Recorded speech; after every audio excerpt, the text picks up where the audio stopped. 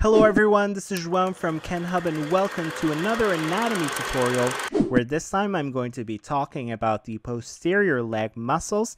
So we're going to be looking at the different muscles that you find on the posterior side of your leg as you can see here on the image on the right side. And we're going to go into the different attachment points, so origins and insertions. We're going to include innervation and functions of for all these muscles.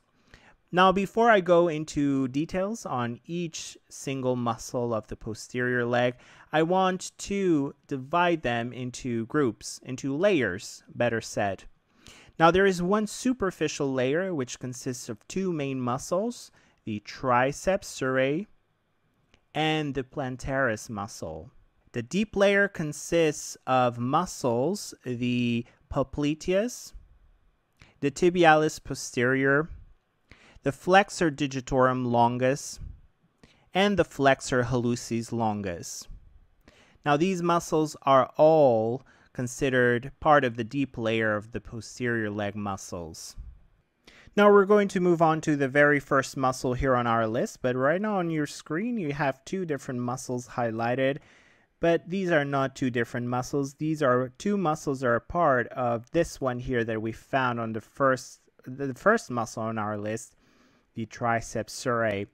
Now this is a three-headed muscle that you find on the dorsal lower leg, and the heads and body of this muscle determine the surface anatomy of the calf. Now the triceps surae consists of the gastrocnemius, as you can see here on the image, which has two heads, so clearly seen here, one and two heads, which have eventually two origin points, which we will look at. And the soleus is found underneath the gastrocnemius and has one head. We're going to start off with the gastrocnemius, here highlighted in green.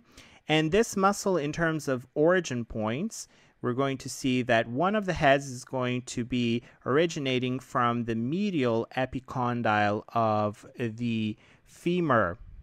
So as you can see here, this is the medial epicondyle, and the medial head of the gastrocnemius is originating from this portion of the bone. If you have a medial head, you would have then another one called lateral head because there is another head, the second head of the gastrocnemius is originating from the lateral epicondyle of the femur. And as you can see clearly on this image, the gastrocnemius overlaps the soleus muscle almost completely. This video is not over yet. Continue watching now the full video at kenhub.com. We have lots more videos like this one available to our premium members on our website, not to mention all the fun quizzes, related articles, and atlas sections. So click on the button in the middle to watch the full-length video and master anatomy.